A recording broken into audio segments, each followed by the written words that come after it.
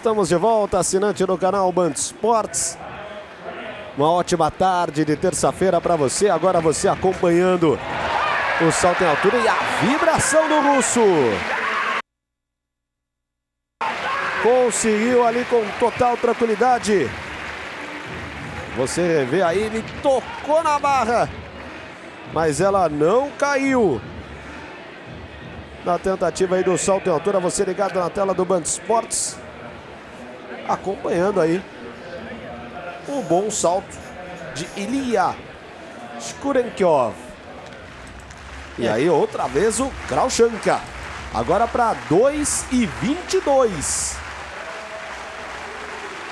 Olha, aproveitando aqui nós estamos falando do Decathlon, observação do treinador Edemar Alves, que está participando aqui na nossa transmissão também, e citou aqui o fato do número amarelo ser do campeão europeu e do número azul ser do líder do ranking europeu.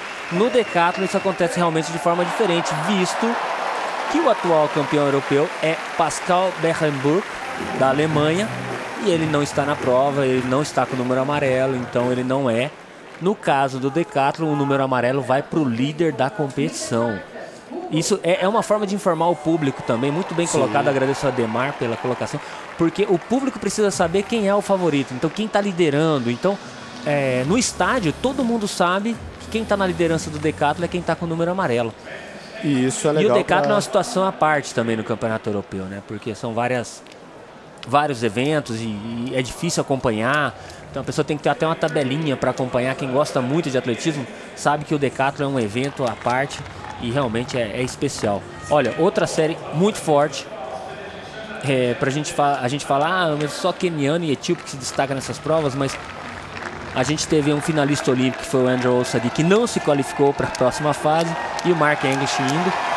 E nessa fase a gente vai ter Giordano Benedetti, ele que foi campeão no GP de Tóquio, que o Band Sport transmitiu ao vivo esse ano aqui em abril, em maio, desculpa. O Adam Kustjot, outro atleta de destaque no cenário europeu na prova dos 800 metros, que também está aí e está correndo bem. E tem o sueco, o Andreas Almgren. Vamos então aí acompanhar São esta que é a segunda eliminatória. Esses são os três favoritos dessa série e que vão aí tentar de maneira estratégica se qualificar para a próxima fase. Não esperem 1,44 agora, mas a gente viu que com 1,47 se venceu as séries anteriores. Deve acontecer isso novamente se passarem para 53 a primeira volta. Vamos então aí acompanhar nesta terceira que tem o Adam Schott, polonês. Aliás, a sopa, a sopa de letrinhas do Adam é, é assim a pronúncia A mesmo? pronúncia é Adam Kuschot. Kuschot. Para você ter uma ideia, assinante, o nome dele tem uma, duas, três, sete letras. Uma delas apenas é vogal. Só...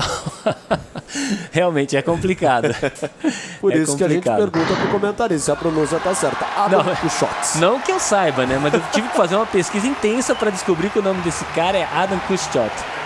É, é, é realmente difícil. Minha pronúncia em polonês não é muito boa. Se tiver algum polonês, pode até melhorar ela aí. É verdade. Algum assinante polonês ou de descendência polonesa, pode participar aí conosco. Você ligado na tela do Band Esportes, por enquanto a liderança do Figueiredo, mas tenta ali o Murray. Tentou o ataque ali para cima do sueco. Fechou ali a porta.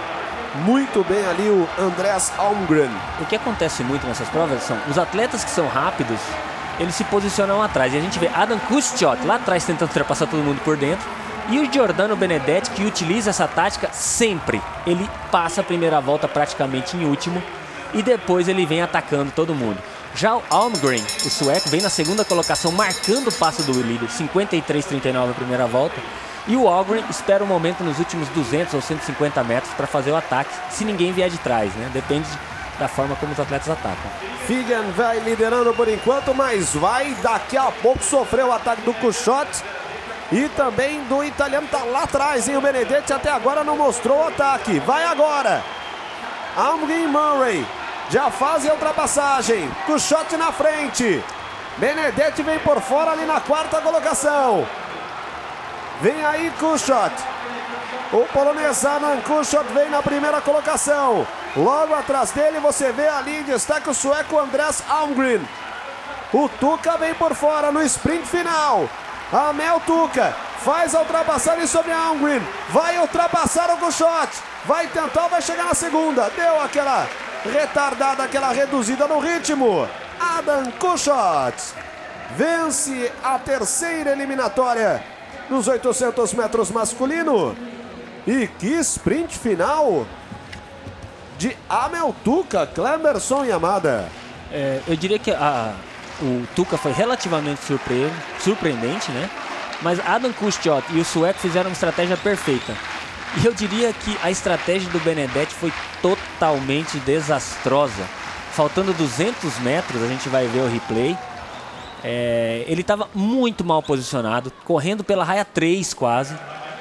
Olha, olha o Adam Kustiot no início da prova tentando acordar. Essa doeu, hein? É essa. Olha, ó a marca vermelha ali ó, na cara dele. Rapaz do céu. E o Benedetti. Faz isso também, Kleberson? Dá uma ligada? Não, é, é bom, é bom pra, pra você acordar, dar um pouco de adrenalina também no momento, né? É, muitos atletas costumam fazer isso. Olha o Benedetti correndo por fora. Eu também não entendi não, hein, Kleberson? Muito mal posicionado, encaixotado. O Tuca tava pior que ele, mas conseguiu se livrar. Aí faltando 200 metros, ele foi tocado, já saiu mais esperou o momento, o Tuca foi ultrapassando. Olha só, e o Tuca vem por dentro, ó. E ele esperou os últimos metros para tentar o ataque, para buscar o, o, sueco, mas não conseguiu. Benedetti pode fora da próxima fase. Ele que era um dos grandes favoritos do Campeonato Europeu. Mais um, hein? Consegue na segunda eliminatória. Agora o italiano Giordano Benedetti. Aí você revendo a chegada do Kuchat. Com a segunda colocação ficou a Meltuca. Que coisa, que estratégia equivocada teve aí o, o Giordano Benedetti. E aí o Adam Kuchot aí em destaque para você. Vamos aguardar só a confirmação aí dos tempos. Mas Kleber, só isso que eu não estou entendendo. Essas estratégias do Osag, do Benedetti. É, o, o Osag ainda me pareceu que não conseguiu brigar na reta porque os atletas vieram ultrapassando. Mas o Benedetti, que costuma correr atrás, ele acabou se posicionando muito mal na última curva. Muito mal. E aí não teve pernas no final para conseguir buscar a posição que ele almejava. Agora vamos ver se ele consegue um tempo razoável para tentar uma classificação. É, eu tenho aqui que na, na primeira série com 1,48,62 foi o quarto colocado e briga por uma vaga.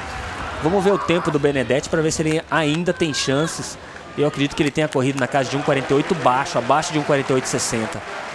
O que vai dar uma possibilidade boa para ele se qualificar. Aí você acompanhando agora o Kraushanka que não conseguiu transpor a barra. Segunda tentativa, 2 e 25, Cleberson. Nossa, 2 campeonato. 2 e 22 ele acabou passando já. Recorde do campeonato europeu no Decathlon, que é uma marca espetacular. Há muito tempo eu não via isso. Olha aí. Vamos agora aí, olha só os três resultados: English, Kusiapski e Renaudi. Ah, essa foi a, a série a anterior. Segunda, a segunda eliminatória. 1,48,05 é a linha de classificação daquela série, né? E agora eles devem mostrar no GC. Tá aí. Kustiot, Tuca e Almgren com 1,48. E aí, Benedetti 1,48,29. É, e agora vai ter que torcer naquela história do melhor tempo. Nesse Esse momento. ritmo foi bom dessa eliminatória, Cleberson? Nesse momento, o Benedetti está qualificado. Ele vai com o segundo melhor tempo é, dos quatro que vão classificar por tempo, então ele tem boas possibilidades. Basta que o quarto, o quinto e o sexto colocados dessa série não façam tempos melhores que o dele, e aí ele deve se classificar. O Cleberson, só para destacar o assinante, o salto do Kraushan que ele conseguiu saltar foi 2,22, certo? Exatamente. 2022. Para você ter uma ideia, assinante, aqui na nossa listagem oficial, quando a gente recebe aqui uh, o start list dos atletas, a última marca que é colocada aqui é 2,10. A última marca colocada é 2,10. Tanto que não tem mais espaço, só tem mais um espacinho. Então ele vai ter que fazer umas anotações extras aqui, porque olha só. Ah, a súmula, né? A súmula acabou, acabou. Não tem espaço na súmula. Por quê? A, eu, eu, imagino que os europeus previam que não fosse passar 2 e 12, 2 e 15. E eu vou te falar uma coisa interessante. Se ele conseguir ultrapassar essa barra 2,25, existe uma possibilidade de 2,25 ser uma marca de qualificação para final individual do salto em altura. Ou seja, os atletas que só treinam salto em altura, existe uma possibilidade de alguns se qualificarem para final com 2,25. E olha que um decatleta tá brigando por uma, uma marca que é suficiente para se qualificar para a final do individual na mesma competição.